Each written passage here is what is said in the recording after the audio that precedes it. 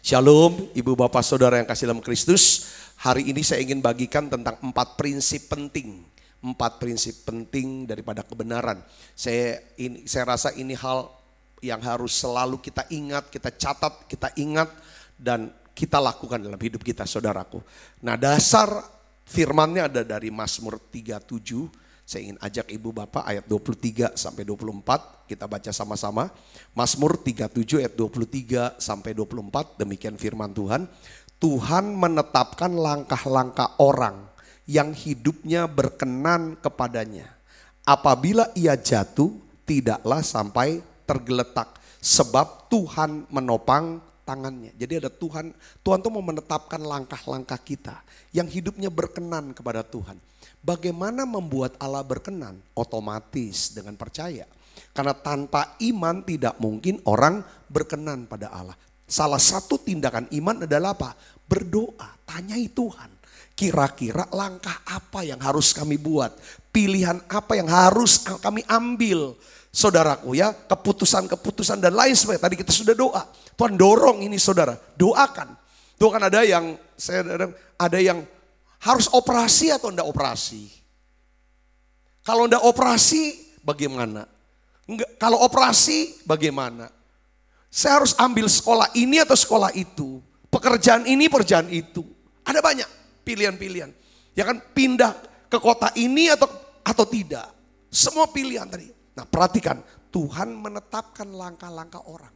Yang hidupnya berkenan kepadanya. Kapan kita bisa berkenan? Waktu kita mempercayai Tuhan. Nah, oleh karena itu saudaraku, ada empat prinsip ya, kepenting, prinsip kebenaran ya. Yang saya ambil prinsipnya aja, saudaraku. Empat yang harus kita ingat. Pertama, saudaraku yang serius, kita akan baca sama-sama, ya kan? Ah, bukan baca, uh, saya prinsip pertama saya bacain aja tentang kita ini harus berani, harus berani atau bisa. Kata bisa dan berani mengakui keterbatasan atau limit. Kita ini punya limit, ada limit, batas. Coba kita baca Alkitab. Saya saya senang saya pakai bahasa Indonesia sehari-hari sih saudara. Ayatnya. Amsal 26 ayat 12. Coba kita buka sama-sama. Kita baca yuk. Satu, dua, tiga. Orang yang bodoh sekali masih lebih baik. Daripada orang yang menganggap dirinya pintar. Sekali lagi kita baca yang keras. Satu, dua, tiga. Orang yang bodoh sekali masih lebih baik daripada orang yang menganggap dirinya pintar. Kenapa? Saudara ngerti ayat ini? Kalau orang, ya kan saudara yang bodoh sekali. Kalau dia sadar dia bodoh, dia akan tanya. Dia akan belajar. Dia mau denger. Supaya dia bisa ngerti. Tapi udah nganggep pinter, udah selesai dia. Udah titik sampai di situ pengetahuannya. Nah, saudaraku yang sebristus, Kenapa kok harus kita harus bisa mengakui ya keterbatasan kita, kebodohan kita lah. Saya mau bilang gitu kan, limit kita. Gini, kalau kita bisa mengakui keterbatasan diri kita, maka kita bisa mengetahui di mana batas seharusnya kita tuh berhenti. Kalau kita tahu limit kita, kita tahu kapan kita harus berhenti. Ini banyak aspek ya saudara, dalam segala aspek. Ya saudara, entah jasmani, entah keuangan, entah apa. Pokoknya ada limit, saudara. Kita harus berhenti. Saudara, bukan ya kan? Yang kedua, saudaraku, kalau kita bisa mengetahui kapan seharusnya kita berhenti, saudara, maka kita akan mengetahui kapan seharusnya kita berdoa. Ya, menyerahkan segala perkara kepada Yesus. Nah, ini penting. Saudaraku. Nah, salah satu tanda kita hidup di dalam kehendak Allah adalah apa? Damai sejahtera Allah yang melampaui segala akal. Itu memelihara hati dan pikiran kita dalam Kristus Yesus. Nah perhatikan saudara. Apabila kita hidup di dalam kehendak Allah. Maka Tuhan akan turut bekerja untuk mendatangkan kebaikan bagi kita yang mengasihi dia. Bagi kita yang mau hidup sesuai dengan rencana Allah. Kita harus bisa akui limit atau keterbatasan diri kita. Tahu diri lah. Tahu diri. Jadi ini tuh sebenarnya firman ini saudara khotbah ini kemarin hasil daripada sharing, ngobrol lah setelah doa kami dilawat Tuhan. Jadi ada pertanyaan. Dia tanya nih, uh, salah keluarga bilang, kamu tuh pernah nggak khawatir? Dia tanya begitu, kamu pernah nggak khawatir? Khawatirnya tuh bukan khawatir basa-basi ya. Memang bener-bener tuh khawatir, takut, sampai gelisah. Saya bilang, iya dong pasti. Aku ngalamin. Saya sharing saudaraku. Kalau kita bisa khawatir, kita gelisah, itu tanda. Tanda apa? Bahwa kita ini memiliki keterbatasan. Katakan amin saudaraku. Nah kalau kita sudah sadar, kita ini punya ada batasnya. Batas apa? Waktu. Time. Batas apa? Talent, kesanggupan. Batas apa? Treasure, keuangan. Kita ada batas-batasnya. Manusia punya batasan, punya limit. Ada orang yang kita nggak nyangka. Rupanya batas waktu dia adalah hari itulah. Langsung dia tiba-tiba saja berpulang, dipanggil. Itulah batas waktu manusia sampai hari ini kan pandemi masih berlalu, masih berlangsung. Semua virus corona masih orang masih kena. Ini tanda bahwa manusia punya keterbatasan. Sampai hari ini vaksin belum bisa dijeksi, bisa dipakai. Walaupun katanya sudah nemukan. Itu tanda manusia ada batas kemampuannya, kesanggupannya. Ini contoh-contoh di pandemi ini. Gitu. Terus bicara tentang apa? Ekonomi. Ada batas-batas. Orang hebatnya bisa jualan. Ada yang bilang aku hebat kok bisa jualan ini, jualan ini. Saya penjual terbesar. Tapi hari ini mereka jerit bilang, aku nggak bisa jualan tuh. Itu tanda kan. Kalau nggak bisa jualan, nggak ada duitnya. Kalau nggak ada duitnya kan pakai yang ada, tabungan. Sampai kapan kalau nggak ada income, tabungan bisa dipakai ada limitnya lagi. Bisa habis. Setelah habis, bagaimana? Ngutang. Ngutang pun ada batasnya. Batasnya kapan? Pada waktu kita disuruh bayar. Kita nggak bisa bayar. Penjara, penjara batasnya. Semua ada limitnya. Saudaraku, kalau kita tahu kita bisa hidup, kita ngerti ada limit, ada batas. Dan kita, kalau kita tahu, kita bisa berhenti. Yang mengerti katakan amin saudaraku. Dan itulah saat kalau kita bisa mengakui keterbatasan kita. Di situlah awal kita bisa mengakui, kita bisa dengan mudah mengakui ketidakterbatasan Tuhan. Kalau kita bisa mengakui keterbatasan kita, kita bisa mudah mengakui ketidakterbatasan Tuhan kemahakuasaan Tuhan, kedahsyatan kuasa Tuhan, kehebatan hikmatnya yang mengerti katakan amin saudaraku.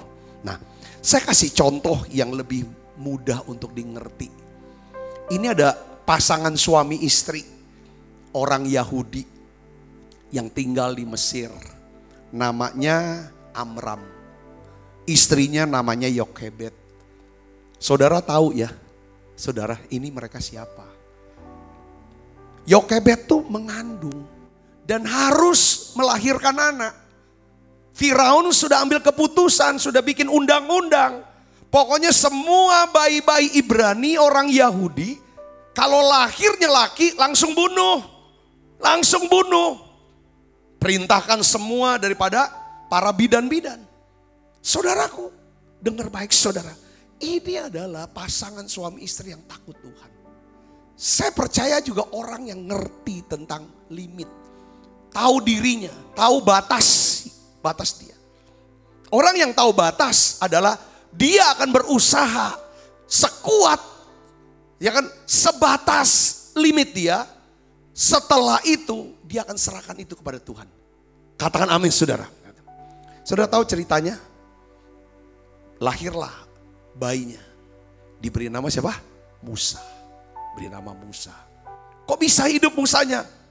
Bidannya ditanya sama Firaun, kenapa kok masih banyak yang hidup tuh bayi laki-laki orang Yahudi ini ya waktu saya datang langsung keluar bayinya.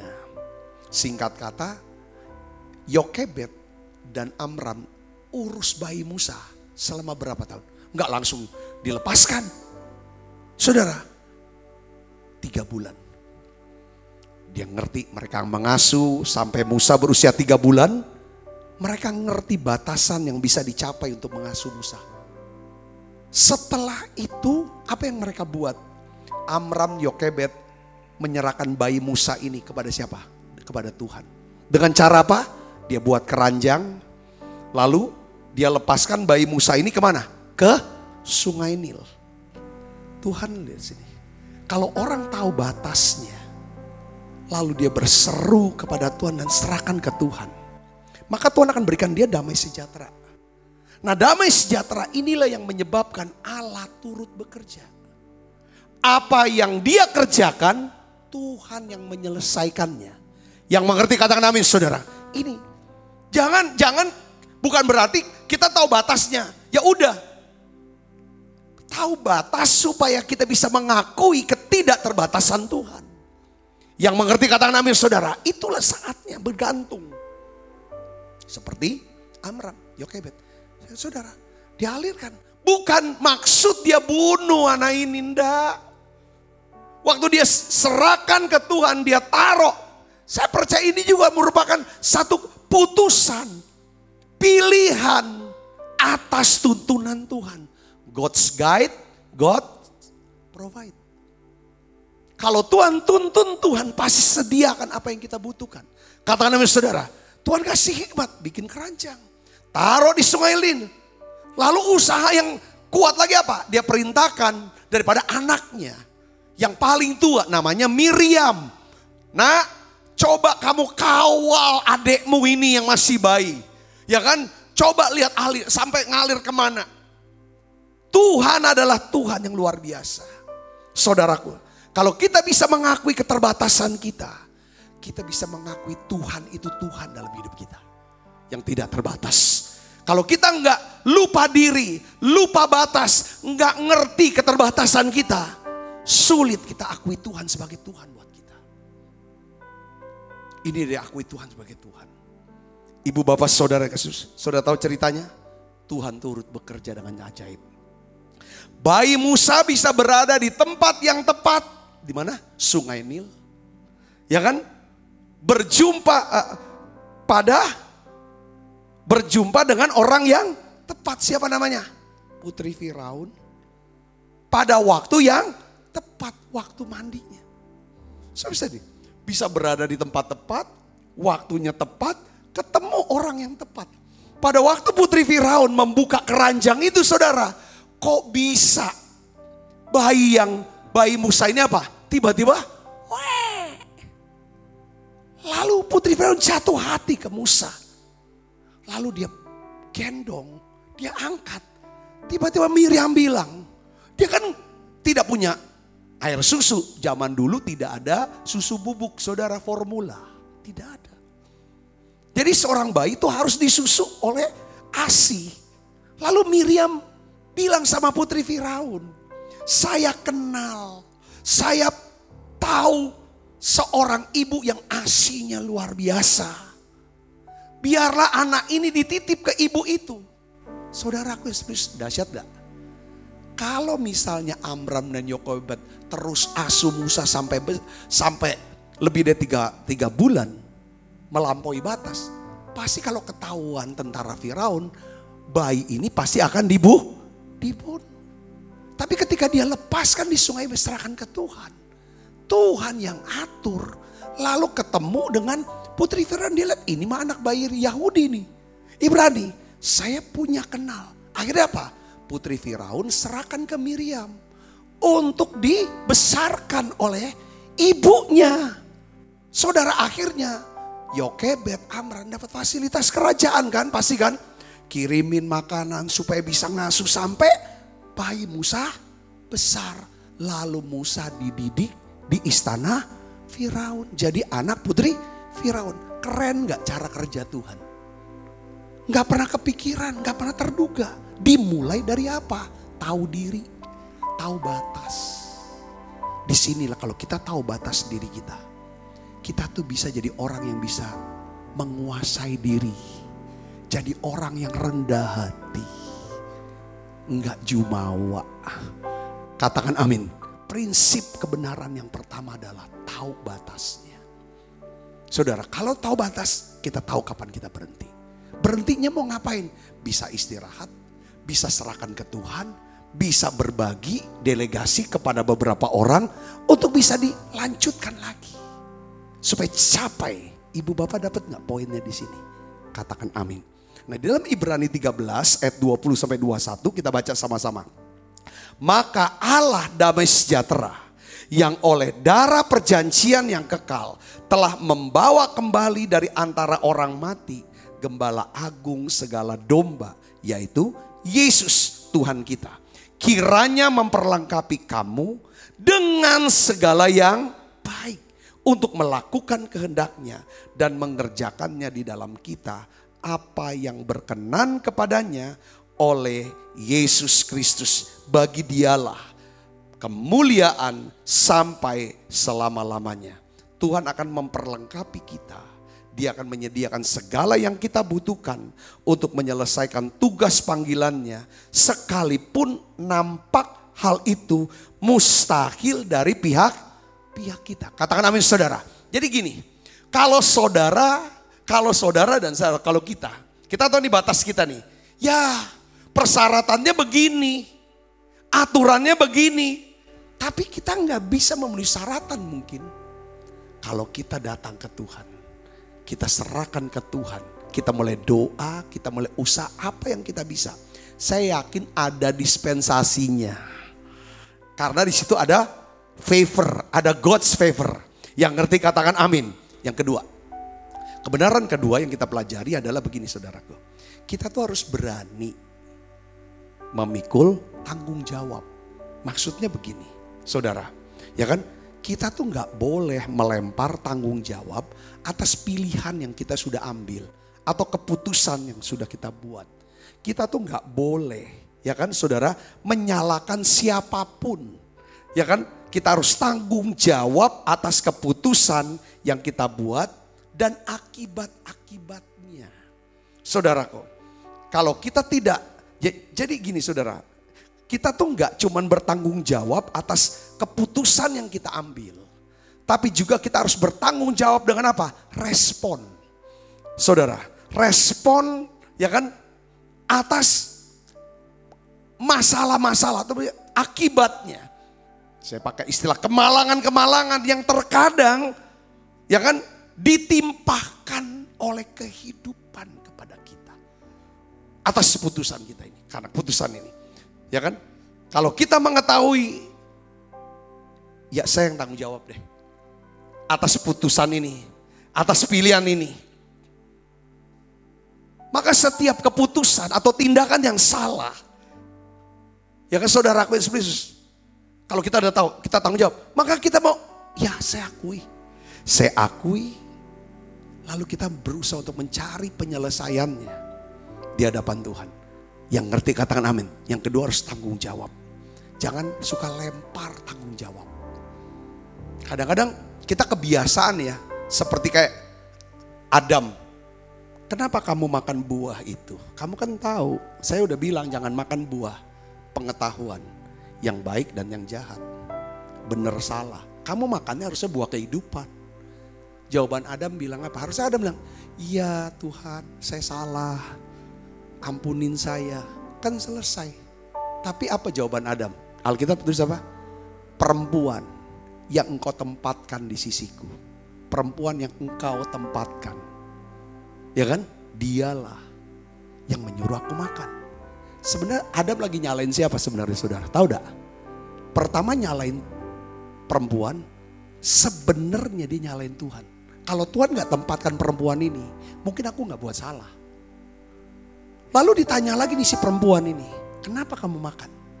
Si perempuan nyalain siapa? Nyalain ular. Ini udah sifat bawaan manusia.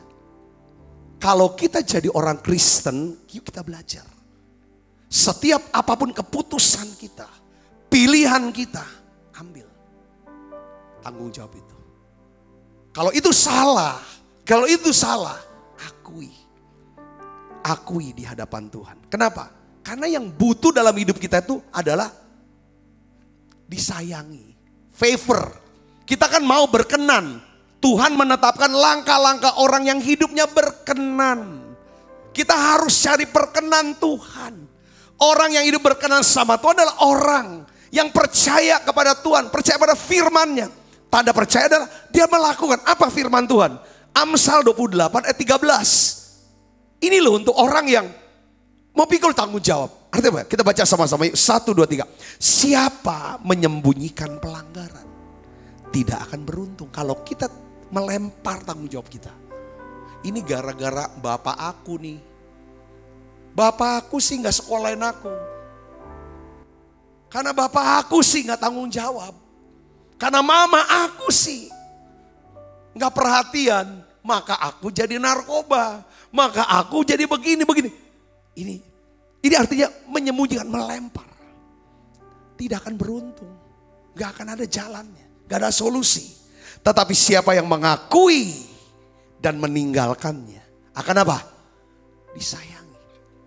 Saudara mau disayangi sama Tuhan? Disayangi sama sebanyak orang? Ya ini ini kata kuncinya. Ambil tanggung jawab. Saudaraku. Ya kan? Kadang-kadang kita juga punya anak buah. Anak buah yang salah. Saudara, kadang-kadang kita salah, kita lempar ke anak buah. Atau kita buang ke atasan. So, supaya kita dianggap benar. Kita butuh favor. Kita butuh sayang. Ya saudara, ya kan? Nah, pertama kalau kita bisa akui limit kita, keterbatasan kita, kita datang ke Tuhan, maka perkenan Tuhan turun. Kita sayang. Yang kedua, kalau kita ambil semua tanggung jawab atas setiap keputusan kita. Dengar baik saudaraku, kalau itu salah putusannya, Dengar baik, kita tidak akan jatuh sampai tergeletak. Karena ada tangan Tuhan yang menopang. Kapan seorang bisa jatuh sampai tergeletak? Karena dia sembunyikan pelanggaran. Karena dia lempar tanggung jawab itu. Saudaraku, ini aku begini karena dia begitu. Karena dia. Itu tidak bisa seperti itu. Saudara bisa nangkep poinnya saya? Saya kasih contoh tentang Musa.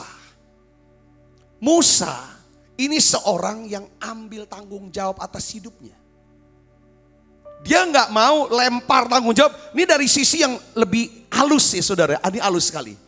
Ya kan? Saudara, Alkitab katakan dalam Ibrani pasal 24. Karena iman. Ini yang membuat Musa disayang Tuhan. Musa berkenan. Dan nama Musa masuk the hall of fame. Saudara, Ibrani 11. Saudaraku, Ya kan? Dia bilang, karena iman. Maka Musa setelah dewasa menolak disebut anak putri Firaun. Jadi saudaraku, bicara tentang kalau kita tahu identitas kita, kita tahu diri kita. Kita tahu limit kita. Oh, saya ini Ibrani kata Musa. Apa yang terjadi saudara? Dia ambil tanggung jawab. Dia bilang gini, ia lebih suka menderita sengsara dengan umat Tuhan daripada untuk sementara menikmati kesenangan dari dari dosa. Ia menganggap penghinaan karena Kristus sebagai kekayaan yang lebih besar daripada semua harta Mesir sebab pandangannya ia arahkan kepada kepada upah. Katakan amin. Ya, sebagai kepala keluarga ambil pikul tanggung jawab. Nafkahi semua. Sebagai ibu rumah tangga ambil tanggung jawab, urus suami, urus anak-anak dengan baik. Sebagai anak-anak, ambil tanggung jawab. Belajar, belajar yang keras. Ya kan berbakti sama orang tua. Saudara, peduli sama rumah. Saya percaya saudara, maka favor Tuhan akan turun buat kita. Di masa susah ini, dengar baik saudaraku, bahwa kita butuh disayang oleh Tuhan. Katakan amin saudara. Poin yang ketiga adalah gini. Kita harus mengetahui apa yang bukan tanggung jawab kita. Ada yang tanggung jawab kita, kita harus ambil itu tanggung jawab kita. Ada yang bukan tanggung jawab kita. Saudara, ya meskipun kita harus bertanggung jawab atas setiap perbuatan kita, atas keputusan kita dan pilihan kita. Tapi kita nggak bertanggung jawab atas tindakan-tindakan orang lain. Termasuk anak kita. Apalagi dia sudah dewasa udah gak tanggung jawab lagi.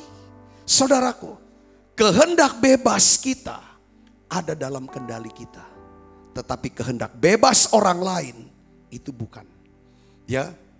Bahkan Tuhan sendiri saudara tidak bertanggung jawab atas pilihan kehendak bebas kita. Tuhan cuma menasehati, memperingati supaya kita bisa membuat pilihan-pilihan yang tepat. Tetapi Tuhan tidak akan pernah membuat pilihan-pilihan itu untuk kita. Dengar baik saudara, Tuhan tidak akan membuat pilihan-pilihan itu untuk kita. Kemarin kita bahas tentang lima pilihan, keputusan penting yang harus dilakukan tiap hari. Kemarin kita bahas. Masih ingat gak saudara? Pertama apa? Kita harus ambil keputusan. Bersuka cita karena Tuhan setiap hari. Ini ambil keputusan. Sukacita. Jangan sedih. Jangan berduka. Ya, apa sih buat orang marah-marah kan pasti orang lagi berduka itu.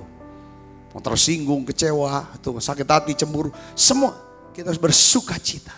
Kita sudah bahas itu. Yang kedua kita harus ambil keputusan untuk apa saudaraku? Kemarin berbuat baik. Ya kan? Berbuat baik. Mikir yang baik, berkata yang baik, berbuat yang baik. Yang ketiga harus ambil keputusan.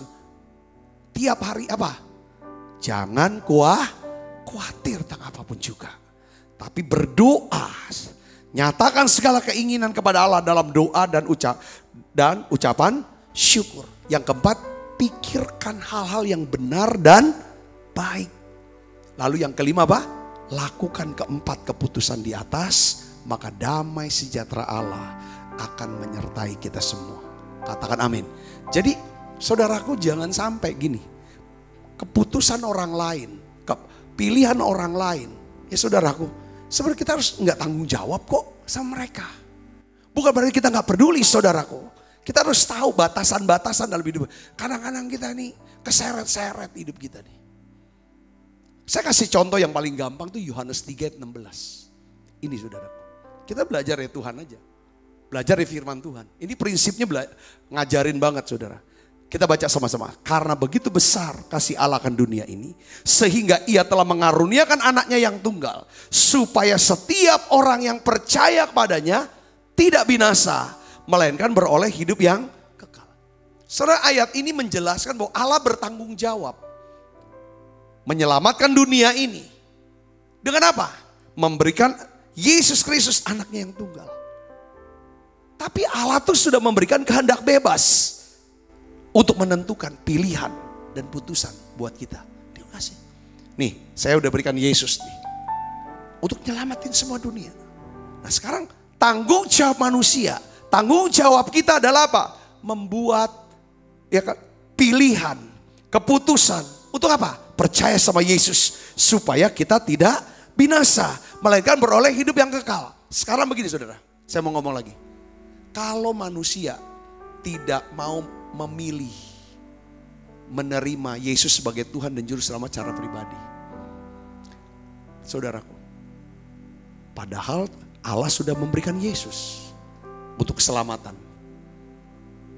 Nah sekarang dia ambil keputusan, aku tolak dia. Nah sekarang saudaraku Yesus resikonya apa? Dia akan terbuang ke neraka. Allah nggak tanggung jawab dengan pilihan ini. Ketika dia terbuang ya sudah ini pilihan. Allah hanya bisa bertanggung jawab. Atas apa saudara? Atas keputusannya. Dia berikan anaknya tunggal. Yang mengerti katakan amin saudaraku. Ini harus tahu. Ada kadang-kadang itu tanggung jawab dia. Kita bagian kita kadang-kadang cuma bisa syafaat. Yang terakhir ya, biar kita bisa menjelaskan seluruhnya dari ketiga ini saudara. Ya, kita harus tahu apa yang tidak dapat kita lakukan. Ini harus tahu. Saudaraku yang sebistus. Ya kan? Jadi suksesnya hidup ya, kita harus belajar untuk tidak berjalan dengan atau hidup dengan rasa bersalah. Kita suka rasa bersalah karena apa? Karena keadaan-keadaan, atau akibat-akibat yang ada di luar daripada kendali kita. Banyak orang-orang Kristen yang menghabiskan tahun demi tahun hidupnya dengan menyalahkan diri sendiri. Karena keputusan bodoh anak-anak mereka yang sudah dewasa. Dia salahin terus dirinya. Kenapa ya? Kenapa ya? Dia begini tuh karena aku yang salah sih. Dia buat gini karena aku yang salah sih. Kan dulu waktu kecil kita sudah didik. Atau dulu kita nggak didik. Ibu bapak saudara yang kasih Kristus. Beberapa dari kita tuh terjebak dengan rasa menyesal. Rasa bersalah. Tuhan tuh nggak mau kayak gini. Kita kadang-kadang hidup tuh dengan satu perasaan. Terus kita pikirin masalah yang tidak bisa lagi kita ubah. Terus saya tegeret. Sehingga dampaknya apa? Hidupnya nggak ada damai sejahtera. nggak ada sukacita. Kalau nggak ada damai sejahtera kita udah tahu dong. Allah nggak bisa turut bekerja. Yesaya 26 ayat 12 katakan. Engkau menyediakan damai sejahtera. Dia sediakan nih damai sejahtera. Kalau kita ambil apa yang kita kerjakan, kita lakukan, Tuhan yang akan menyelesaikan atau turut bekerja. Contohnya adalah kisah bayi Musa.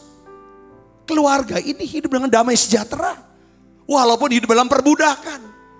Kita lihat di sini apa yang mereka kerjakan, Tuhan yang menyelesaikan. Dan rencana Allah tidak pernah gagal atas Musa. Bayi Musa dari bayi sampai Musa tutup mata. Kita bisa melihat bagaimana Allah turut bekerja.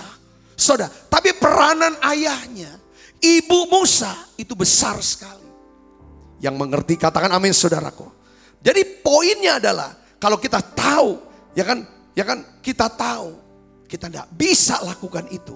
Saya mau kasih tahu, itulah saatnya kita harus sujud, sujud menyembah ke Tuhan, sujud menyembah ke Tuhan. Menara doa ini sebenarnya saudara, kalau saudara ikutin terus menara doa, message-nya adalah satu, saya akan dorong dan bermuaranya kepada apa? Sujud nyembah Tuhan, sujud nyembah Tuhan.